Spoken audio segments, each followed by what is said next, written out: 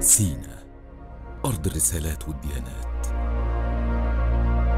أرض الفيروز كلها خيرات وكنوز ارتوت بدم ولادنا يوم النصر والفرحة عمت كل مصر. يوم 25 إبريل يوم ما اترفع على أرضها من تاني. علم